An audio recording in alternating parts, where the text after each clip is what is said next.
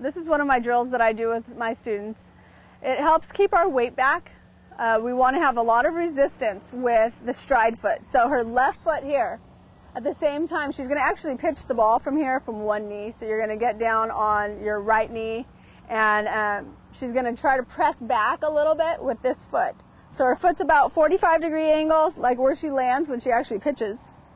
And the important thing on this is that she doesn't move her shoulders at the same time she's throwing the ball. She's going to try to stay as stiff as she can here and get her arm going fast. So go ahead and, and throw it.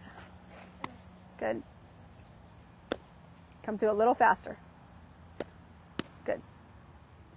So what happens is her arm needs something to pull against when she releases the ball. So if her shoulders are moving or her body's moving forward at the same time she's releasing the ball, there's no resistance there. And she needs to have, her arm needs something to really pull against when she releases. So this is what she's pulling against, it's her body. She's creating her own resistance. So her shoulders are staying still, her left leg is planting real solid and, and firm. You don't want to land uh, or make it like a locked leg. You just want to make sure that it's um, slightly bent but firm when she throws. Okay. And follow through a little stronger. Good. Try to spin the ball.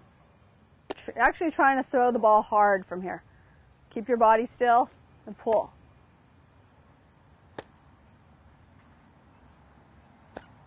Good. That was a good one. Do two more. Nice.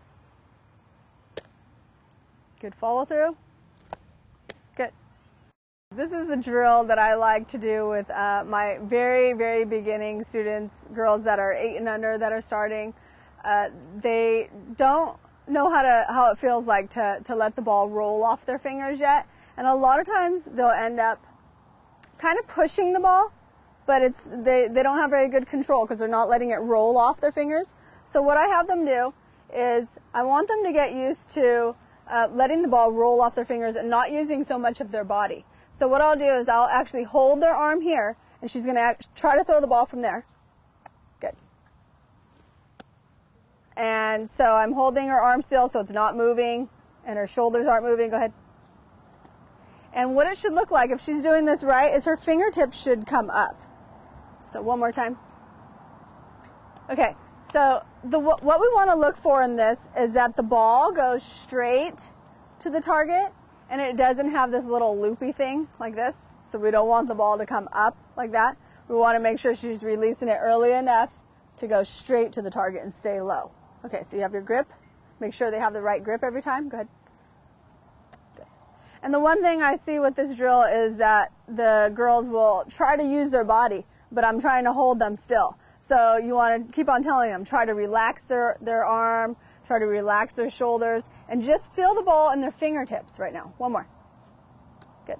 Okay, so from here, since I'm not going to be there when they're practicing every time, I'm going to have them use their glove, and they're going to get their grip.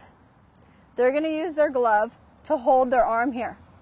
Okay, and make sure, this is one thing you want to make sure, they as they do this throughout time, they start practicing more and more, they start to come out here a little, and we've got to make sure that they're still back here. They keep it right by their side. Okay, go ahead. And the catcher knows if she's using too much of her body, that ball's coming in too fast. She should barely be able to make it there if she's doing this right. So only fingertips, not using your whole body. It's just using the fingertips right now. Good. One more.